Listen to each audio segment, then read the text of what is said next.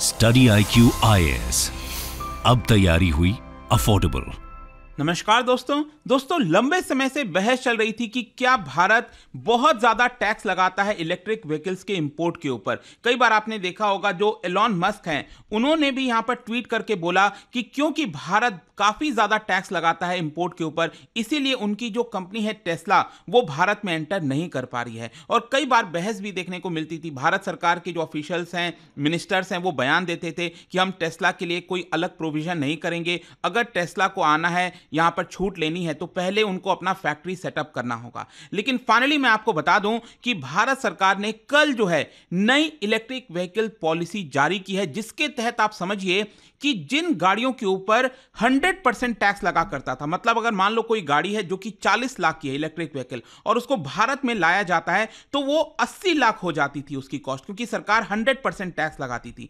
अब उन टैक्सेस पर भारी गिरावट की गई है। कितना?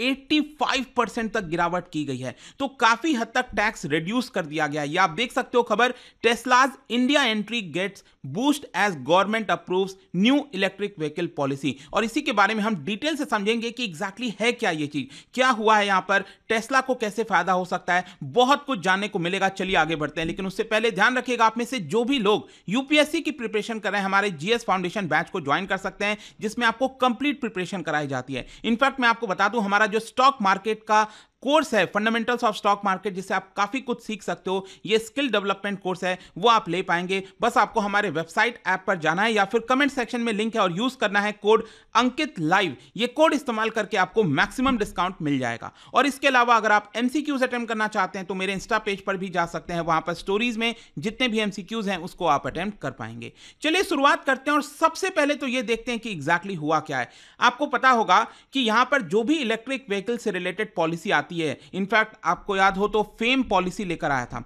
तो वो बेसिकली एक मिनिस्ट्री के द्वारा लाई जाती है, जिसका नाम है मिनिस्ट्री ऑफ़ हैवी इंडस्ट्रीज़ तो ये वाला भी जो नया इलेक्ट्रिक व्हीकल की पॉलिसी आई है, वो मिनिस्ट्री ऑफ़ हैवी इंडस्ट्रीज़ के द्वारा लाया गया है। ध्यान रखिएगा, ताकि देश के अंदर जो इलेक्ट्रिक व्हीकल की मैन्युफैक्चरिंग है उसको एक बूस्ट मिल सके। ज़्यादा से ज़्यादा ईवी भारत के अंदर प्रोड्यूस हो। और यहाँ पर बताया जा रहा है कि जितनी भी ग्लोबल कंपनीज़ हैं, वो इसका फ़ायदा उठा सकती हैं। ज़ाहिर सी बात है टेस्ला हो गया बीवाईडी आपको पता है चाइनीज़ कंपनी है विन फास्ट ये वियतनाम की कंपनी है बीएमडब्ल्यू मर्सिडीज जो भी अपना इलेक्ट्रिक व्हीकल भारत में लाना चाहते हैं मैन्युफैक्चर करना चाहते हैं तो इसको आसानी से अब वो कर पाएँगे। अब क्वेश्चन ये है कि ये नई पॉलिसी है क्या?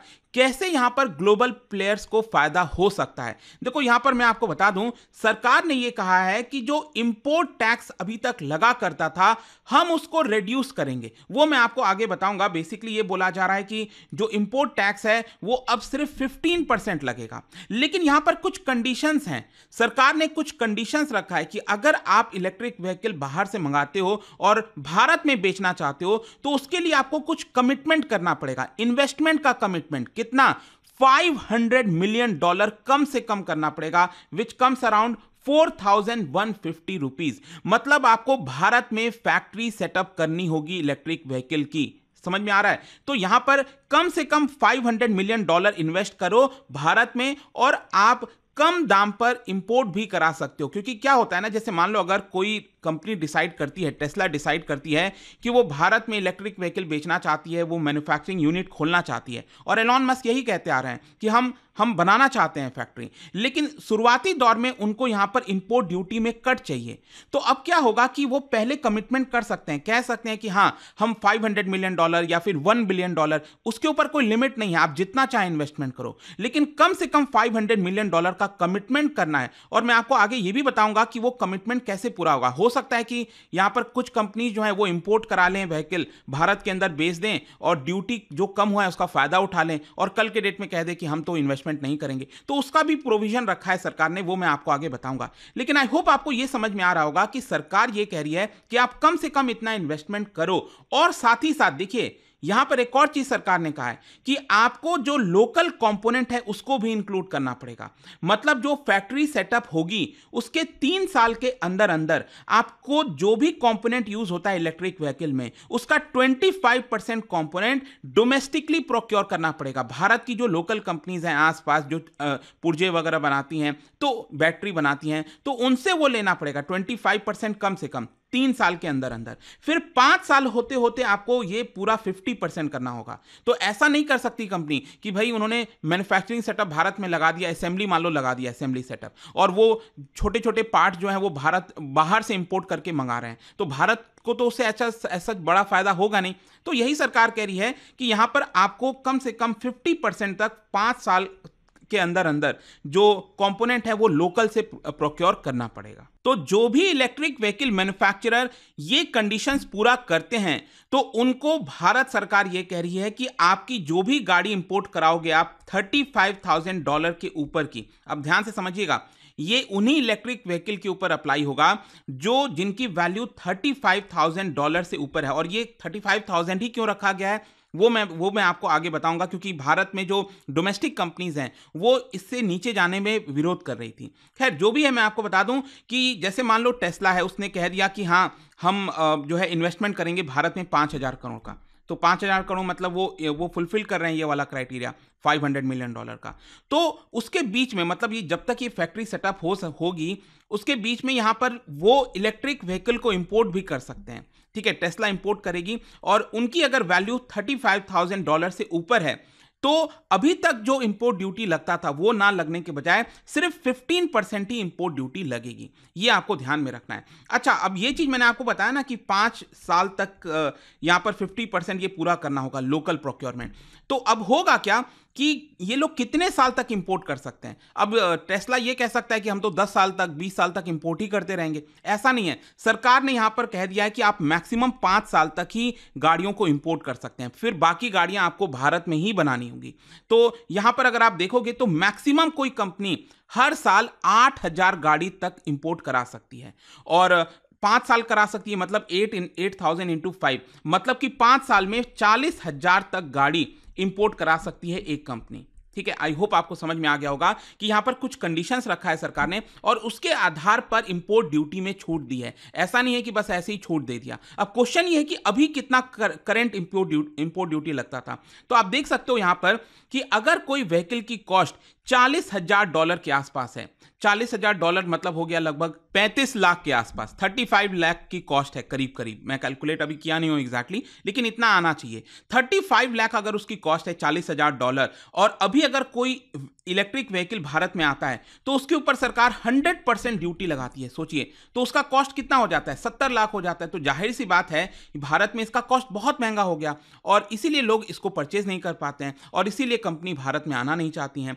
और इसके अलावा भी मैं आपको बता दूँ, अगर कोई गाड़ी की कॉस्ट चालीस डॉलर से कम है इलेक्ट्रिक व्हीकल की तो उसके ऊपर सरकार सेवेंटी टैक्स लगाती है। और हाँ ये चीज़ है, जो कंप्लीटली नॉकडाउन यूनिट्स होते हैं, इसका मतलब ये होता है सीकेडी यूनिट्स का मतलब होता है, जो असेंबली वाली चीज़ें होती हैं, जो गाड़ी के छोटे छोटे पार्ट्स को इंपोर्ट कराया जाता है और फिर उसको भारत में असेंबल कराया जाता है। उसके ऊपर तो 15 परसेंट ही ड्यूटी है, लेकिन जो पूरा का पूरा गाड़ी जो इंपोर्ट होता है भारत में, उसके ऊपर सेवेंटी परसेंट से हंड्रेड परसेंट तक ड्यूटी देखने को मिलेगी। तो ये जो ड्यूटी है बेसिकली उसी को पंद्रह परसेंट सरकार कर रही है। आई होप आप समझ गए होंगे। और साथ ही साथ यहाँ पर मैं आपको यह भी बता दूँ कि ये जो बेनिफिट है, ऐसा नहीं है कि जो बाहर कंपनीज़ इस समय है, जो भारत में जिनका प्रेजेंस नहीं है, उन्हीं को फ़ायदा होगा। जो भारत में ऑलरेडी हैं, जैसे मर्सिडीज बीएमडब्ल्यू वो भी यहाँ पर इन्वेस्टमेंट का कमिटमेंट करके जो गाड़ी वगैरह को इंपोर्ट कराना है तो वो भी कर सकती हैं। तो ये सबके लिए फ़ायदेमंद है, जितने भी ग्लोबल कंपनीज़ हैं।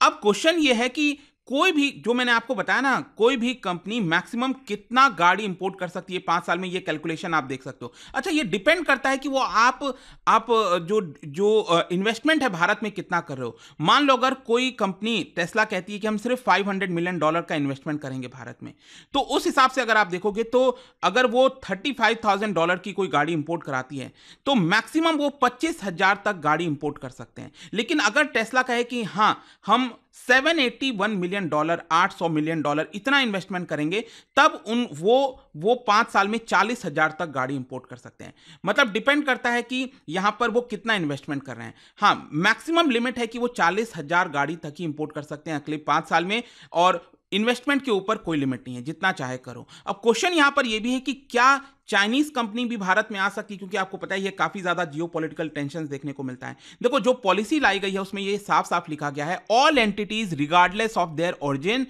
can partake and seek incentives under the scheme तो यहाँ पर यह नहीं बोला गया है कि चाइना नहीं ले सकता, कोई और देश नहीं ले सकता, सभी कोई ले सकते हैं। लेकिन हाँ, याद रखिएगा दोस्तों, आपको याद होगा 2022 में एफडीआई पॉलिसी सरकार लेकर आई थी, उसमें यह कहा गया था कि कोई भी अगर इन्वेस्टमेंट आता है, उन देशों से जो कि भारत का लैंड बॉर्डर शेयर होता है। ज़ाहिर सी बात है, भारत का land border China, Bangladesh, Pakistan, Bhutan, Nepal, Myanmar और अफ़गानिस्तान के साथ शेयर होता है।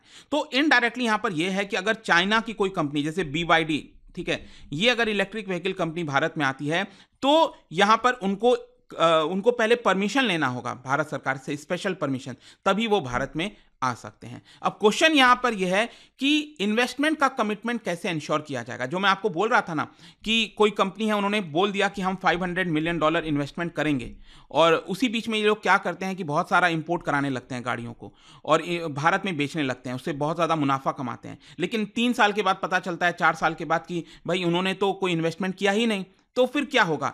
देखो, यहाँ पर सरकार ने यह साफ़ साफ़ कहा है कि जो भी आपको टैक्स में बेनिफिट मिल रहा है, छूट मिल रही है। पहले मान लो कोई गाड़ी पर 100 परसेंट टैक्स लगता था, अब 15 परसेंट हो गया। तो ये जो बीच का जो डिफरेंस हुआ ना, वो आपको बैंक गारंटी के तौर पर अपने बैंक में दिखाना होगा। बैंक गारंटी के तौर पर रखना होगा पैसा। और इनकेस अगर आप अपना पूरा फुलफिल नहीं करते हो मैन्युफैक्चरिंग का फुलफिल नहीं करते हो, भारत में इन्वेस्टमेंट फुलफिल नहीं करते हैं तो ये इन्वोक हो जाएगा। मतलब जो भी आपको बेनिफिट मिला था ड्यूटी में, वो सारे बेनिफिट सरकार अपने पास वापस ले लेगी। तो ये सारे इंतज़ाम यहाँ पर सरकार ने कर रखे हैं। अब क्वेश्चन यहाँ पर यह है कि आखिरकार ये पॉलिसी सिर्फ़ उन्हीं गाड़ियों के ऊपर क्यों है जो थर्टी डॉलर से ऊपर हैं? जो इंपोर्ट कराए जा रहे हैं। ठीक है तो इसके लिए क्या हुआ था कि अब आपको पता है, भारत में दो बड़ी कंपनी है इस समय टाटा मोटर्स और महिंद्रा एंड महिंद्रा इन्होंने ऑलरेडी बहुत सारा इन्वेस्टमेंट कर दिया इलेक्ट्रिक व्हीकल पर। ऑल अभी इनको बहुत बेनिफिट नहीं हो रहा है प्रॉफिट नहीं हो रहा है, लेकिन हाँ अब धीरे धीरे ये प्रॉफिटेबिलिटी की तरफ़ बढ़ रहे हैं। तो इनका यह कहना था कि देखो, सरकार पहले ये सोच रही थी कि पच्चीस हज़ार डॉलर का हम लिमिट लगा देंगे, पच्चीस हज़ार से पैंतीस हज़ार डॉलर लेकिन टाटा मोटर्स और महिंद्रा एंड महिंद्रा को लगा कि अगर ऐसा हो गया तो उनका पूरा मार्केट खत्म हो सकता है। लोग इनकी गाड़ी ना लेकर फॉरन की जो गाड़ियाँ हैं वो ले लेंगे। तो इसके लिए सरकार तो इनके वजह से यहाँ पर आप कह सकते हैं सरकार ने यहाँ पर थर्टी फाइव थाउज़ेंड डॉलर से ऊपर की जो गाड़ियाँ हैं, उन्हीं के ऊपर ये जो छूट है इंपोर्ट ड्यूटी का, वो प्रोवाइड किया है। और साथ ही साथ ये भी आप देख सकते हो टेस्ला जो है, वो यही प्लान कर रहा था कि पच्चीस हज़ार डॉलर वाली जो सस्ती गाड़ियाँ होती हैं टेस्ला की, सबसे सस्ती, वो भारत मार्केट में लेकर आएगा। लेकिन अब यहाँ पर क्योंकि इंपोर्ट ड्यूटी सिर्फ़ उन्हीं गाड़ियों पर छूट मिलेगी जो पैंतीस हज़ार डॉलर से ऊपर है तो मोस्ट प्रॉब्ली बताया जा रहा है कि जो टेस्ला का ये मॉडल थ्री वाला गाड़ी है, जो कि फॉरेन मार्केट में आप देखोगे तो चालीस हज़ार डॉलर का पड़ता है तो वो भारत में अब लेकर आएँगे। तो अब देखते हैं आगे क्या होता है, लेकिन कंक्लूजन ये निकलता है। देखिए, अभी तो क्या है जस्ट कल पहली बार ये कुछ पॉलिसीज़ रिलीज़ की गई हैं। इसका डिटेल गाइडलाइंस वगैरह सब कुछ लाया जाएगा, क्योंकि आपको पता है, आज मॉडल कोड ऑफ़ कंडक्ट लग लग जाएगा। जो है आपका डेट अनाउंस हो रहा है इलेक्शन अनाउंस हो रहा है। तो उसकी वजह से मे भी सरकार पहले ही जस्ट इसको तुरंत ले आई, ताकि कोई प्रॉब्लम ना आए। लेकिन आप कह सकते हैं कि ये जो मूव है, वो कहीं ना कहीं एक सिग्नल देता है कॉन्फिडेंस देता है कि अगर बाहर की कोई कंपनी आती है टेस्ला बीवाईडी कोई भी तो भारत में अच्छा खासा कॉम्पिटिशन बढ़ेगा। और इससे अल्टीमेटली हम जो कंज्यूमर्स हैं, उनको फ़ायदा होगा। तो आपका क्या सोचना है इसको लेकर मुझे कमेंट्स में ज़रूर बताना। और जाने से पहले एक इंटरेस्टिंग क्वेश्चन क्या बता सकते हैं? Which among the following comes under the physical policy for regulating the economy ठीक है कौन कौन सी इनमें से चीज़ें फ़िज़िकल पॉलिसी के अंदर आती हैं? और ऑप्शन बहुत ध्यान से करना, ये जो नया पैटर्न है ना ऑप्शन वाला ओनली वन ऑफ़ दी अब टू तो ये आपको बताना है। इसका राइट आंसर आप सबको पता है, मेरे इंस्टाग्राम पर तो मिलेगा ही। वहाँ पर अगर आप नहीं हो, कोई बात नहीं टेलीग्राम से ले सकते हैं, इसका सही उत्तर। मैं कई सारे जो एमसीक्यूज हैं, वो यहाँ पर स्टोरीज में डालता रहता हूँ। अगर आपको पीडीएफ चाहिए तो टेलीग्राम पर आइए अलग अलग सोशल मीडिया पर आप जुड़ पाओगे और जैसा मैंने आपको बताया, अगर आप यूपीएससी की तैयारी कर रहे हैं, कोई भी बैच चाहते हैं you can just use this code Ankit live ताकि आपको मैक्सिमम डिस्काउंट मिल जाए। आई होप की वीडियो आपको पसंद आया होगा। मिलता हूँ आपसे next time till then thank you very much see you soon study I Q I S अब तैयारी हुई अफोर्डेबल